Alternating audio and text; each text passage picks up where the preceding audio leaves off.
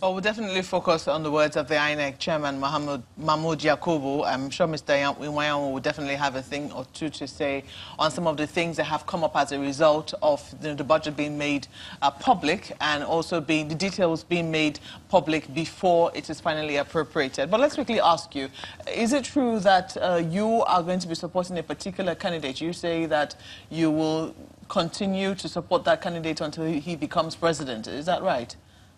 My party or me? Yourself. No, I don't know where I got that. Oh. This game is dynamic. Okay. Are you supporting any presidential candidate? I mean, no, within, this is a party, this is a party, any of the major political this, this parties? Is a party, this is a party that's just seven days old. We are yet to launch it to the Nigerian people. Mm -hmm. We are holding our first National Council meeting after registration. The party will take a number of decisions. So as I'm talking to you now, as to whether we are going to have a particular presidential candidate or not, I am blank. We don't make decisions before we get to a meeting. We, and we are not going to involve in any gang up uh, for a purpose. I recall uh, this APC when I was chairman of Labour. The first meeting for the formation of APC with other political parties was called by Dr. Ogbonnaya Onu in his house. I attended that meeting with uh, uh, Chief Momoh and others. And my first contribution was let us put on the table what we are going to deliver to Nigerian people. Let us also put on the table who gets what and how, because this thing is fond of causing problems when you win elections. Mm. Mr. Momoh said, no, no, no, Chairman, leave that one. We'll discuss that after. I said, no.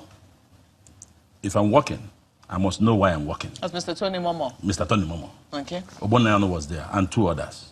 Okay. So the meeting didn't arrive at anything. The second meeting we came, I started from where I stopped. I discovered that they didn't want to do that. Just a minute, please. So my party asked me, don't go. That is why you have problem today in the APC. Nothing was defined. The target was push PDP out. So you're not. And when they got the power, they didn't know what to do. You're not going to be going into any coalitions. I cannot say that, but for now, coalition is not ahead. We want to actually change the narrative. What what the, what the two major political parties are selling to Nigerians is not what Nigerians bargain for. We want to change that narrative. Let's, let's look into that a little bit. When you talk about changing the narrative, obviously I would imagine, because you're a political party, that that involves getting some people into office at various levels. Of course. Of course. Can, can, you give us a sense of what you are uh, envisioning for the 2019 elections in terms of the structure, in terms of the level of penetration you want to achieve uh, within this election cycle? The party will have to do a lot of work. The party is just new. We may not, you know, get into contesting in all the elections in all the states, but there are very strong areas that we may have to concentrate in with a view to getting those. Is Ondo State one of them? Where? Ondo. Ondo election is not coming now. It's off-season election. No, I'm talking. There, will be no election, but for the National Assembly. And that's what I'm referring oh, to. Sure, yes. Oh, sure, oh, sure, oh, sure. That is my, that is my state and uh, I'm Australian popular there. so, so Ondo will be one of them. And there are so many other states we have to get involved. We're just one, one week old. We cannot deceive ourselves that, ah, we are going to win this, win president, win this. No. We are building, we're going to build the party from bottom top and with a view to having our eyes on some seats. As to your question as far coalition and all that, we are not going to be involved in any gang up our vision, our commitment has always been. You call coalitions gang ups? No, there are, I gave you an example of one that happened that pushed PDP away. And I want to also see if this one is not another one that intended to push APC away. Uh, if we see the direction, what will be the benefits of Nigerians in this coalition? What are we going to benefit from it? Mm. We don't just see that uh, people are throwing their materials on fire you just remove your own and throw it there. You must be sure. You must be sure of what you're doing. You must be sure of where you're going. It mm. is not enough to say 50 political parties have come together. Yeah, they can come together. There's nothing wrong with that. But this election, this election will not be left in the hands of political parties alone. Let, let, us quickly ask you then. I mean, are you worried about the, well, initial, were you worried initially about the controversy? And are you confident now that INEC will have a budget, even as we approach 2019, considering all that we have seen so far between the executive arm of government and the legislature? Yeah, from what I have seen, I, I think, I think the committees have been meeting, joint committees. They've met the Honorable Chairman of INEC twice.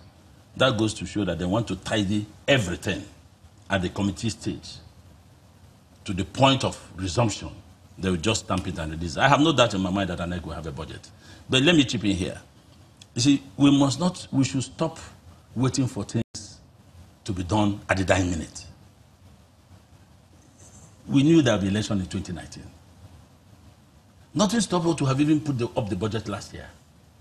So that INEC will have all the money that it needs for the election. We don't wait on the last quarter. And now we start this buck passing. You didn't send it on time. Why did you go on vacation? Without prejudice. Parliaments go on vacation at a particular time of the year. They can also recall themselves from vacation to attend to urgent national issues of great importance. But I think they can resolve it. It's because of lack of uh, understanding, lack of good relationship. The other time, I think on your program, one of the before Shenwu, I suggested that the president should be initiating rapport with the leadership.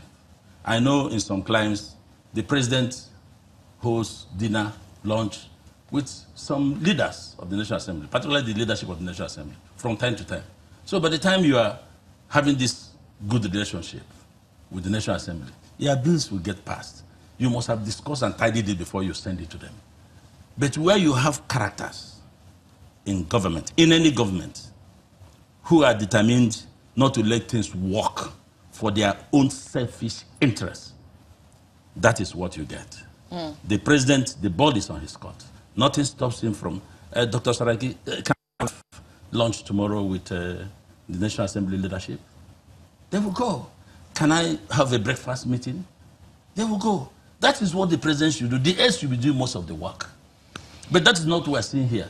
From the one you are elected, everything is plot, plot, plot, plot for the next election. Oh. It doesn't work for the benefit of Nigerian people. Well, now you say you're confident that this thing will definitely get they will resolved. Go, they will get, they have it. And I no think doubt. a lot of Nigerians share your optimism. Well, we have to thank you most kindly for coming on Sunrise Daily. Thank you for having me after a long time. Chief Dan Nwanyanwu is the chairman of Zenith Labour Party.